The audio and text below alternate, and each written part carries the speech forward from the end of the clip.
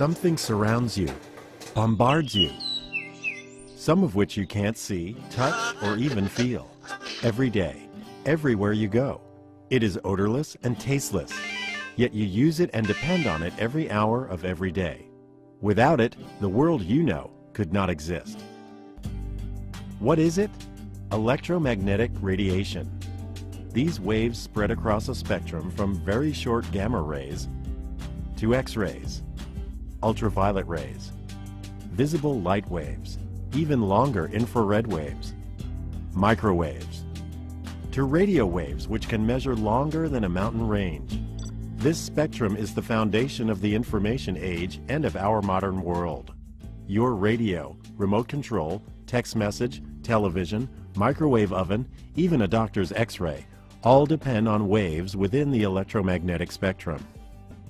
Electromagnetic waves, or EM waves, are similar to ocean waves in that both are energy waves.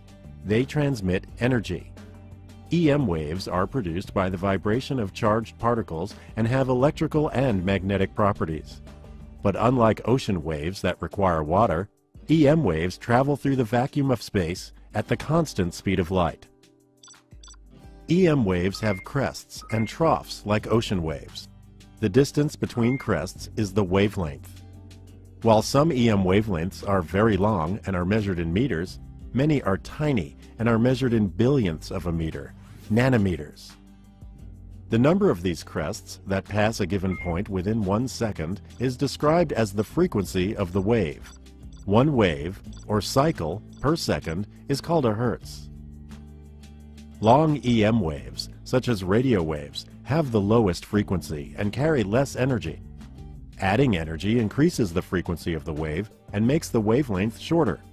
Gamma rays are the shortest, highest energy waves in the spectrum. So, as you sit watching TV, not only are there visible light waves from the TV striking your eyes, but also radio waves transmitting from a nearby station, and microwaves carrying cell phone calls and text messages, and waves from your neighbor's Wi-Fi, and GPS units in the cars driving by. There is a chaos of waves from all across the spectrum passing through your room right now. With all these waves around you, how can you possibly watch your TV show?